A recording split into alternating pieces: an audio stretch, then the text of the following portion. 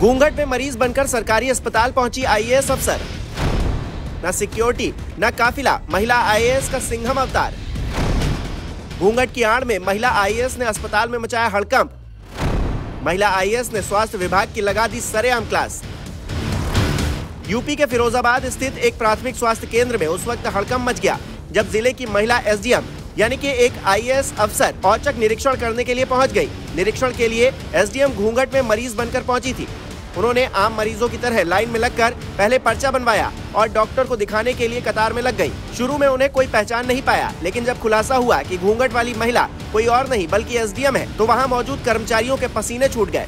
SDM को स्वास्थ्य केंद्र में कई खामियाँ मिली। दरअसल फिरोजाबाद की एसडीएम सदर कृति राज मंगलवार को, यानी कि 12 मार्च को, दीदामई स्थित शकीला नईम स्वास्थ्य केंद्र पर गोपनीय तरीके से निरीक्षण करने के लिए पहुँची थी। उन्होंने अपनी गाड़ी को अस्पताल से काफ़ी दूर छोड़ दिया था और घूंघट में मरीज़ बनकर अस्पताल में दाखिल हुई। ऐसे में उन्हें कोई पहचान भी नहीं पाया। जानकारी के मुताबिक मंगलवार को एसडीएम सदर कृति राज ने घूंघट में मरीज़ बनकर दीदामई के सामुदायिक स्वास्थ्य केंद्र में निरीक्षण किया। वो सबसे पहले मरीजों के साथ पर्चा बनवाने के लिए कतार में खड़ी हुई।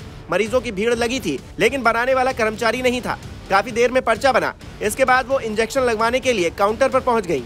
यहाँ एंटी रेबीज का इंजेक्शन मनमाने ढंग से लगाया जा रहा था। इसके बाद वो स्टोर में पहुँची, जहाँ दवाएँ एक्सपायरी मिली, वार्डों के गद्दों में धूल जमी हुई मिली। शौचालय की साफ़ सफ़ाई की व्यवस्था भी बदहाल थी। उन्होंने सीएससी के हाल की रिपोर्ट बनाकर जिला अधिकारी को भेजने का निर्णय लिया है, जिससे दोषियों के खिलाफ कार्रवाई हो सके। दरअसल, एसडीएम सदर कृतिराज को सीयूजी नंबर पर सूचना मिली थी कि शहर की नई आबादी वाले दीदामई स्थित सामुदायिक स्वास्थ्य केंद्र पर तमाम अव्यवस्थाएँ हैं। सूचना मिलते ही एसडीएम सदर स्टाफ के साथ दीदामई अस्पताल पहुँच गई। इससे पहले उन्होंने सुरक्षा गार्ड, गाड़ी अर्दली और स्टाफ को अस्पताल से पहले ही छोड़ दिया। घूंघट की ओट में एसडीएम सामुदायिक स्वास्थ्य केंद्र के अंदर दाखिल हुई। मरीजों की लाइन लगी हुई थी।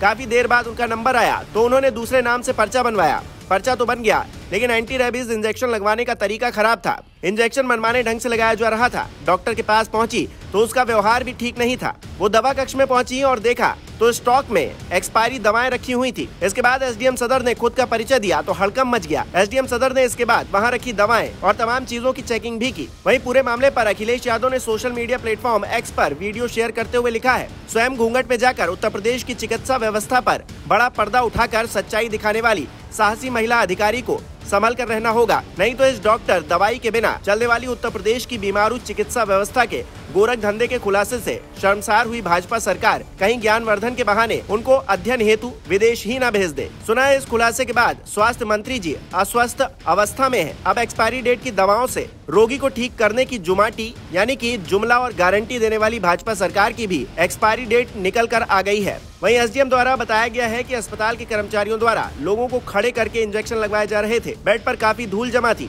साफ़ सफ़ाई नहीं थी। डिलीवरी रूम और शौचालय में काफ़ी गंदगी पाई गई थी। कर्मचारियों में सेवा भाव का अभाव दिखा। फ़िलहाल कार्रवाई के लिए निरीक्षण रिपोर्ट जिला अधिकारी महोदय को भेज दी गई है।